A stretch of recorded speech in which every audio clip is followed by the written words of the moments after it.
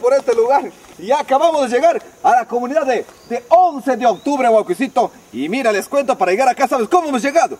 Nos hemos trasladado desde Tingo María más o menos hasta Topa, una hora y media, hora y media de camino. Y de ahí hemos caminado dos horas, Huacuicito, dos horas hemos caminado.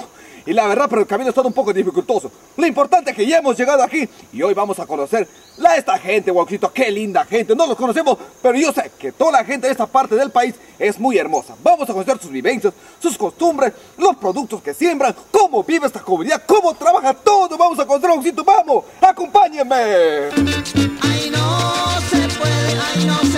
La comunidad de 11 de octubre está ubicada a 30 kilómetros de la ciudad de Tingo María el acceso a esta zona del distrito de Daniel Alomía Robles es dificultoso, pues un tramo de su carretera no está en buenas condiciones debido a las constantes lluvias. A pesar de ello, sus pobladores han comprendido que el trabajo organizado y participativo están generando el cambio. Una transformación gracias al grano de cajue, un tinto de calidad de exportación que ha mejorado la calidad de vida de sus habitantes.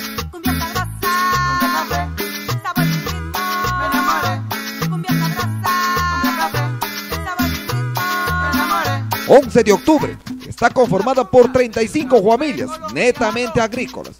Aquí la educación es el valor más importante para sus pobladores. Los niños son el futuro del pueblo y ellos lo entienden así. 32 menores están en el nivel primario y 19 en el nivel inicial. Y los que cursan la secundaria caminan hora y media al caserío de Topa. Eso nos muestra la gran voluntad de sus niños querer darles a sus padres la alegría de verlos profesionales algún día.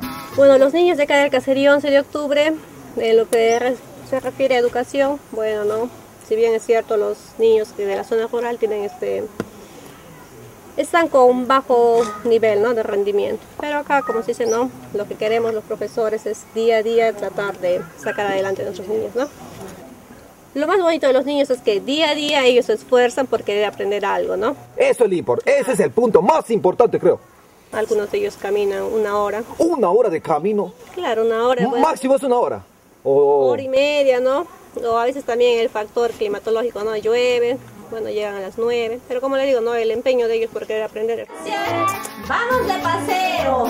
Los niños de la comunidad ponen muchas ganas para aprender y con la ayuda de su profesora, ellos reciben la enseñanza participando de manera dinámica y entretenida. La imagen de la comunidad es muy importante. Juntos para una vida saludable. Cuentan con un relleno sanitario, baños y tachos ecológicos. Los menores son los que colaboran con la limpieza. Todo esto la convierte en una comunidad saludable.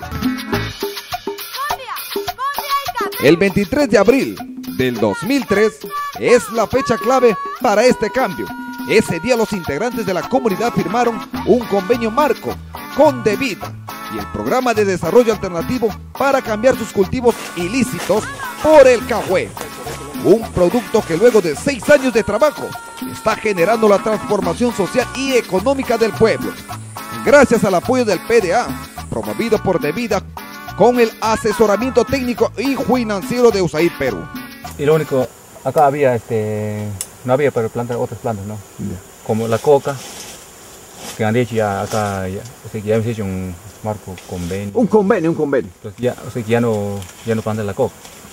Los, los, que están antiguos me dijo, no, acá usted, el único que es acá nosotros plantar nuestro café.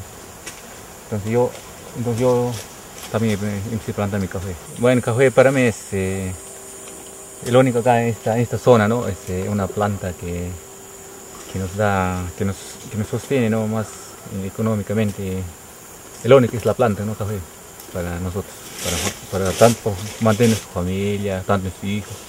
Primero, primeramente acá a venir este PDA. Ya se convenio con el cooperativo divisoria como asesoramiento técnico. Los cultivos lícitos han permitido que el desarrollo de esta comunidad no solo sea un sueño, hoy es una realidad. El cajue es su principal cultivo, un grano que se exporta con la colaboración de la cooperativa cajuetalera La Divisoria. Sus plantas de cajueto son mejoradas, lo que ha generado buenos ingresos a sus agricultores y por ende una mejor calidad de vida. los hijos de don Pablo Trinidad ahora tienen una mejor alimentación, mejor educación y sobre todo una mejor salud. Yo a mi hijo, yo, yo quiero hacer esto ya no que sea más mejor que, que yo, ¿no? Que, nosotros, que antes. A ver, nosotros estudiábamos así con toda la, la primaria, ¿no? Pero ya mis hijos ya no, ya, yo no quiero que sea así, ¿no? Ellos que más hasta, hasta lograr, ¿no? Como profesionales. Y nos, me metes eso de mí para hacer estudiar. Y por eso lo que trabajamos café. Para cerrar la noche, mi compadrito Juan se fue para la cocina y nos brindó café. En 11 de octubre, los agricultores también cuentan con cultivos de plátanos, frijol, maíz, yuca y algunos animales menores para su autoconsumo. Como se imaginarán, el aniversario de esta comunidad es el 11 de octubre. En un inicio, los primeros pobladores de la zona se preocuparon por abrir una trocha carrozable que les permita sacar sus productos a la localidad más cercana. Luego iniciaron el trabajo de sus chacras, cambiaron los cultivos ilícitos por el cajué y actualmente observan con muy buenos ojos el futuro. Por eso, para participar del concurso Selva Ganadora presentaron el proyecto denominado Implementación de un centro de acopio de productos agropecuarios en la comunidad. El proyecto que estamos presentando en el Selva Ganadora es implementación de un centro de acopio de productores agropecuarios en la comunidad. Oxito, ¿y qué buscan con ese proyecto ustedes aquí en la comunidad? Mejorar la calidad de vida de nuestra comunidad y del distrito. El proyecto tiene como finalidad concentrar los productos en un solo lugar, permitiendo captar mayores volúmenes y así tener una mejor negociación con los compradores de cajué. De esta manera incrementarían sus ingresos. En la actualidad, la venta de sus productos agropecuarios se viene efectuando de manera desordenada e individual. Esta situación es muy bien aprovechada por los intermediarios que pagan precios muy bajos, pese a que los productos son de muy buena calidad. No te dejes, compadrito, no te dejes, pero cuida la talega del café. Tú le das, compadrito, tú le pegas, tú le das, compadrito, tú le pegas. No te dejes, compadrito, no te dejes, tírale con la talega del café. La gente del lugar es muy amable. Tras laborar durante las mañanas sus hombres, mujeres y niños descansan a la hora del almuerzo. ¿qué, qué estás preparando para el almuerzo? Su huevo. Su huevo frito con su, con su arroz, ¿no? ¿Y de aquí viene a comer de su tangana, de su plátano? Ah, también viene plátano, ¿no? Qué rico este.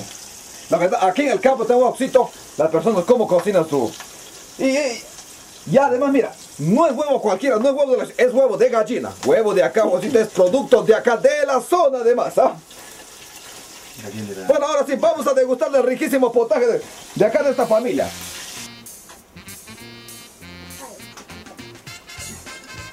Boxito, qué rico se come la chacra, Boxito. Este, maestro, ¿este frijol qué? ¿Cómo se llama este frijol? haba. Esas son las famosas habas, ¿ya? Pero la de- además es otro gusto comer acá que comer en la ciudad. Nos invitan a degustar la comida tradicional del lugar. Para nosotros es algo muy especial, ya que en la chacra el sabor de todas sus comidas son muy, pero muy especiales. Lo comprobamos al degustar del arroz con huevo de gallina acompañado de su mote. ¡Ah, chauita ese platito!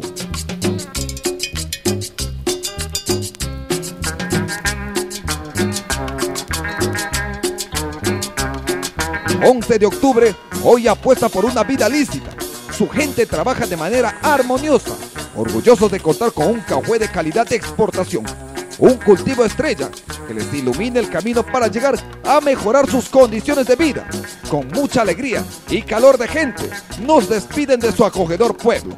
Una comunidad de selva ganadora que camina hacia el éxito. ¡Chao, guauquisitos! ¡Nos vemos! ¡Hasta pronto!